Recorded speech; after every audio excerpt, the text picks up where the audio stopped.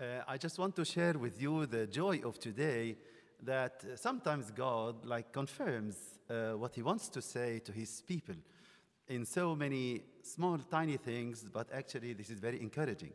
Actually i prepared the talk of today from the, uh, the pauline epistle and uh, i was thinking um, is it the, the real message lord that you want to send your people? And i was asking this in my heart and actually, when I was just standing, uh, uh, Ahmed uh, came and, uh, and said, uh, Can you please read the Pauline epistle? So I got the confirm that this is the message of today. So the message of today is from the, uh, um, from the book of Hebrews, the epistle of the Apostle Paul to the Hebrews. And um, actually, I saw in this passage that God was angry with his people. And this is quite an amazing thing. God loves his people, God encourages his people. But in this epistle, God is showing an angry attitude towards his people. And uh, actually, God said, according to what the Apostle Paul said, God was angry with that generation. What generation, Lord, that you are angry with? This is the generation of the Jews who went out of the land of Egypt and they were led, they were led by Moses just to enter the promised land, the land that is flowing. And Apostle Paul is the Hebrew person who is quite diligent in the law and he understood quite well in the law because he was a scholar. He was a big scholar in the, uh, in the law. So he understands what he's saying when he reflects from the Old Testament, actually, uh, the Apostle Paul taught us how to see the Old Testament in the eyes of the New Testament. And he made so many uh, precious reflections from the Old Testament. So, in this reflection, he is reflecting to the people who went out of the land of Egypt just to enter into the promised land. And he said clearly that those people who went out of Egypt just to go to the land of Canaan, they didn't enter. Finally, after 40 years passing this horrible way, they couldn't enter. Only two persons entered the promised land Caleb and Joshua. And all those who uh, left Egypt couldn't enter. Why, Lord? This is a big question. Why did you lead your people out of the land of Egypt and you promised them with something that is great? And then they fail. You couldn't accomplish your promise to your people.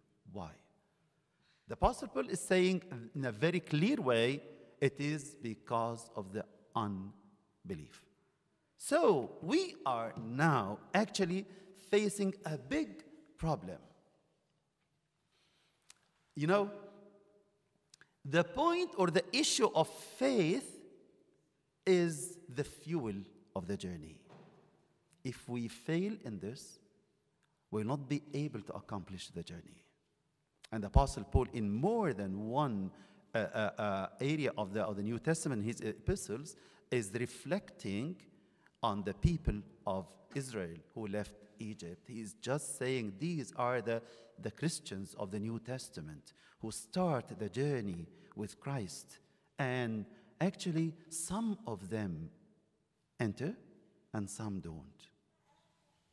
And this makes God the, the loving or the, the, the philanthropy, the lover of mankind, actually is very angry because he prepared all what is needed for the journey. And he prepared that, that high destination for God's people. If we fail it, he is so sad. He is so angry because he, he did everything for us to reach the goal, and we fail him and we fail ourselves even. So, the talk of today is focused on this uh, uh, title the three levels of faith. Three levels of faith. So, the Apostle Paul is actually reflecting on those people. And if you read the, uh, this part, you can go over it again. uh, this part of the uh, epis- epistle to the Hebrews, you will find that all these elements are there. So let's. Uh, uh,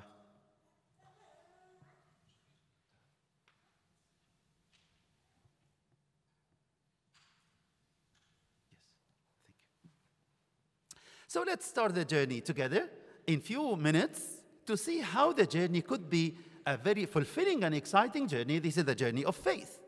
So, of course, we need to know it and we need to go through it. Not only know it, not only understand the idea, but actually, this is the practical living of the Christian. So, let's start with the first level of faith. So, the first level was clearly the Exodus. When uh, God led his people out of the land of Egypt. I'm just putting some bullet points here just to, to, uh, uh, to go quickly on this, uh, on each and every point. So let's start with the first one. What is the, the obstacle for going out of Egypt? Actually, there was so many huge obstacles. The biggest one was the king, the Pharaoh, who took a very fierce stand against their exit from Egypt. And he said, No, they are my slaves. I will not let them go. In a very clear way. So Pharaoh was the first obstacle. And Pharaoh was actually backed by his army, which was at that time the strongest army in the world. So the army was so, so strong. And the army had uh, uh, uh, one of the weapons, it's referred to so many times in the, in the book of uh, Exodus, which are the chariots of Egypt. It's like one of the most recent like weapons in, the, uh, uh, in our world today. So the chariots were undefeatable. So Pharaoh, the army, the chariots, and the biggest obstacle that we know, after they were like hindered from going out of Egypt because of the Red Sea was before them, and Pharaoh with his army was uh, chase, uh, chasing them actually, and they were locked in this situation. So the Red Sea, another obstacle.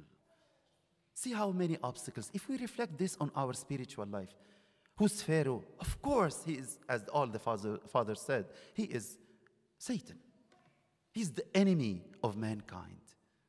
He wants to keep each and every one of you in his bondage all the way.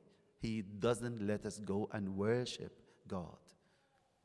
And yes, he has chariots, yes. And the Apostle Paul is reflecting on this in the Epistle to the Ephesians, chapter 6, when he just exposed the battle with this evil one. So these are the obstacles.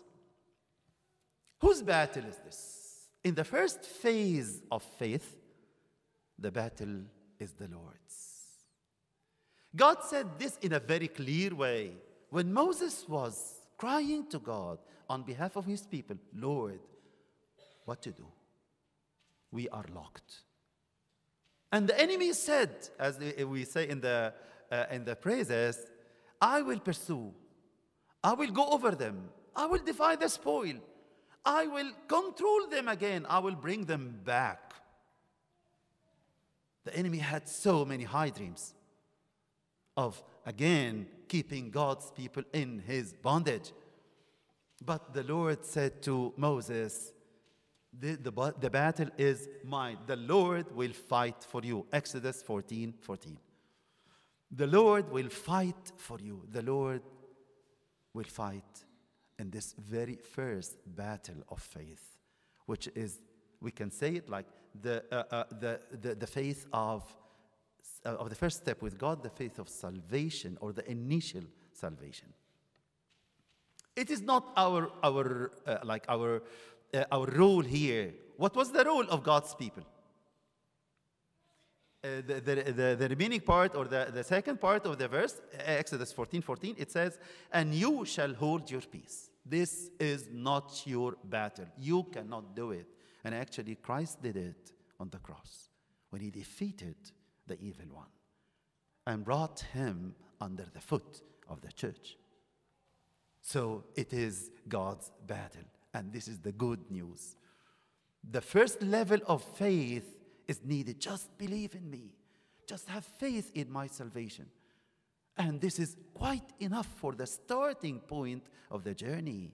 You will get out of the land of Egypt. What God need from a sinner person like me, at the very first step, nothing. Just receive what I offer you. That's enough for you. So, uh, the salvation here, we can say that the first level of faith, salvation here, is, as we say in Exodus, as it said in Exodus 3 8, I have come down to deliver them out of the land of Egypt. So, this is the salvation in its first stage out of the land of Egypt. What is the meaning of that practically? This is out of the land of the enemy, out of the land of sin.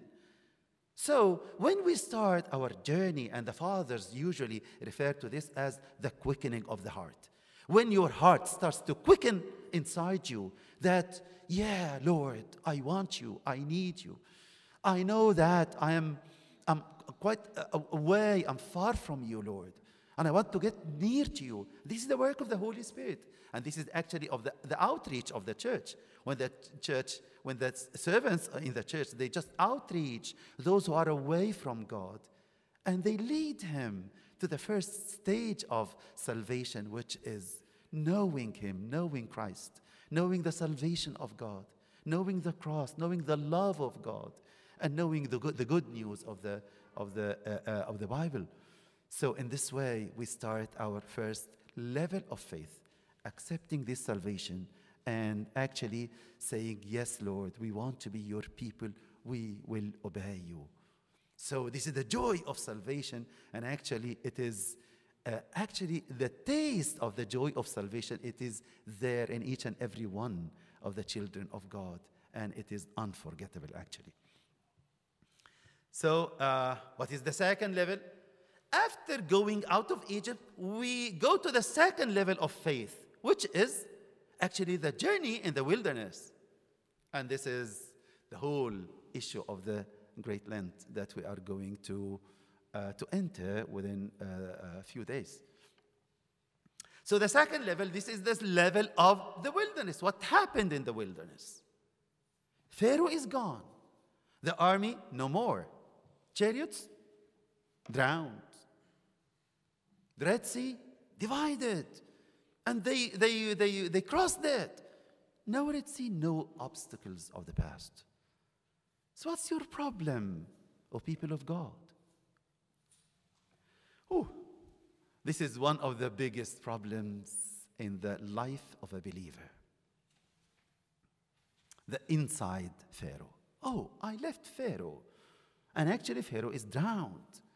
But I see in myself another big giant that is actually facing and chasing me all the time, all the day. This is the battle of the wilderness, the inner Pharaoh, the old man that is inside you and inside me. And it says in this clearly in Romans, the epistle of the, to the Romans, uh, chapter 6, verse 6. This is the, our old man. The Apostle Paul says, the old man. So the old man is actually an enemy, an obstacle in the wilderness. And dealing with the old man is the whole issue about the wilderness. Why did God like lead them in the wilderness? Why did God don't didn't at that time like lead them out of Egypt back to back to, to the land of Canaan by passing this hard time? You see, God couldn't do that because you have to face the inside Pharaoh. So, what are the trials of the wilderness? Actually, the trials of the wilderness is what Jesus faced in the wilderness. He faced those kinds of trials. And I'm just squeezing, summarizing them in the three big trials that the enemy just uh, tested Jesus with. The first thing, physical needs. The food, you're hungry. The foods, your physical needs, your biological needs. This is one of the enemies that you have to face it in the wilderness.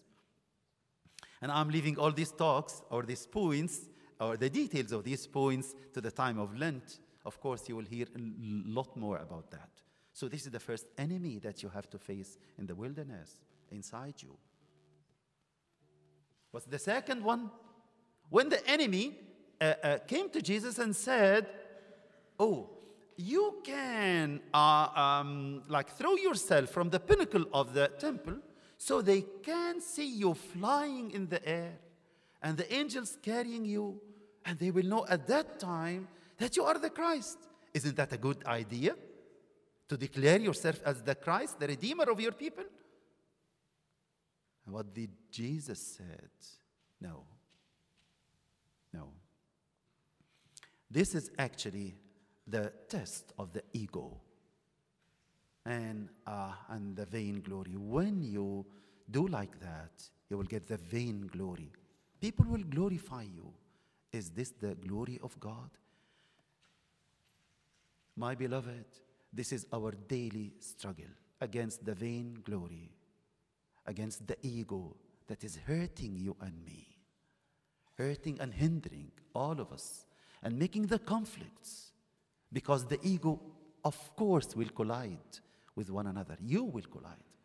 The ego cannot get in harmony because I want my ego, and the other person sitting beside me wants his or her ego. So, of course, we'll get in trouble.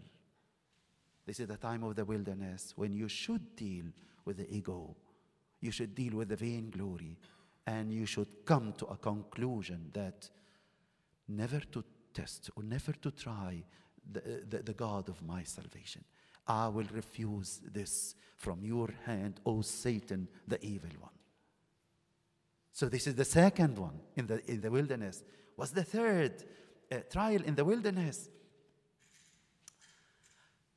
He showed him all the authorities, all the kingdoms, and everything in the world. And he said, I will give you all this, all the kingdoms of the earth will be yours. All the kings of the earth will submit to you if you just bow to me. So, this is, I can just say that this, the name of this trial is the power, authority, controlling others. And again, this is one of the biggest trials of mankind. We seek authority, we love it, we lean for it. We actually we seek authority all the day long. Authority through so many things. But you see, Christ didn't accept again that offer from the hand of the, the, enemy, the enemy. So what did Jesus say? Get away, get behind me, O Satan. So Jesus rebuked Satan at this trial. And this is showing to us that the trials in the wilderness are not easy. Because the enemy, Satan, actually is using our weaknesses, our old man. And this is the fight, this is the struggle that the Apostle Paul is describing in a very detailed way in Romans chapter 7. The, the, the, fight between the new man, the new start in Christ, your new life with Christ, your, new life in, uh, in the church, and being a, a, a person who is like, uh, who, who wants God, wants God to be your, your king, and the old man. Here, salvation at this point is from the impact of my old life. So you will see here, Pharaoh is gone, but another Pharaoh inside me is there. So the Pharaoh that is inside me is just the, imprint of that old Pharaoh that I was submitting to in the past. So you will see that these are your weaknesses that are over and over and over in the wilderness. So here, I just made it in red so it is very clear to you and it, you can like meditate on this. Salvation here is from the impacts of Pharaoh on their souls. That's why God permitted this time in the wilderness 40 years, Lord, that's, that's long, that, that's too long. Actually, it, is not, it was not intended to be 40 years, but because of their own stubbornness, because of their, uh, uh, uh, their, uh, refusal actually to, to obey and to be in harmony with God. And whatever it takes, God is preparing that time to deal with your old self. And again, to restore the likeness of God. You see that we were created with two qualities in the image of God and after his likeness. This is uh, there in the book of Genesis.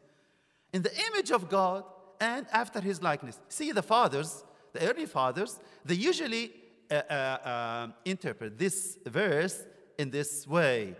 They say that the image of God is what is inside you, and it is not destroyed. It, maybe it is marred, yes, weakened, yes, by sin and by the fall.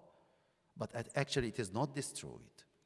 And this is the huge difference between uh, salvation in the Orthodox way and salvation in uh, maybe in the Reformation way when they say that said that the image of God is destroyed, man is dead, cannot do anything. No, in the Orthodox understanding, according to the fathers, they say that the image of God is imprinted even in the heathens. And this makes the heathens sometimes they do very merciful acts because the image of God is in them, in each and every one of humankind. But the likeness, no.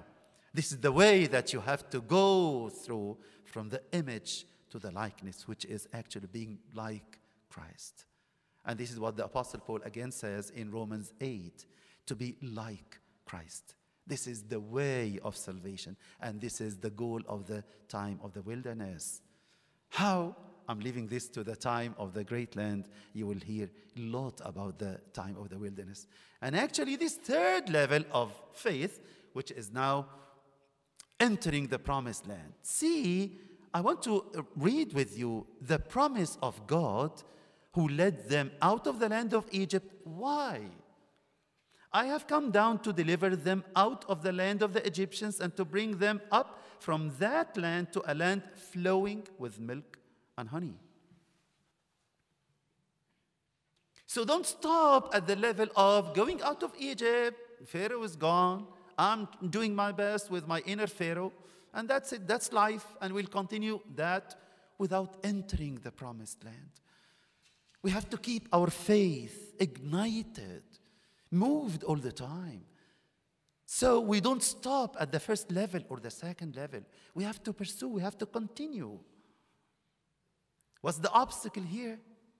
Actually, the obstacle is not inside you anymore but it is the world around you with its prince of the world, the evil one, who is trying to, by external pressure, not internal pressures, external pressures, they try to fight the kingdom of God around you. And actually, this is the, the work of the Christian in his life. After finishing or after going a great deal of the battle of the wilderness, then you have to stand as a man of God, as a woman of God, as a children of God, all of us. We stand against this world and, uh, the, the, and its prince. Again, you will see that in, after the, the end of each Catholic epistle, you see these words. The church prepared these words to be heard over and over and over. Do not love the world or the things in the world. What's the goal of this uh, phase of faith? expanding the kingdom of God and spreading the good news. So, this is your work, this is my work, this is actually our main task in the world. So, your main task is not to, being, uh, to, to be just a, a physician, an engineer, your job, whatever it is, just fulfilling your job, and that's it. So, you imagine that I lived such a good life.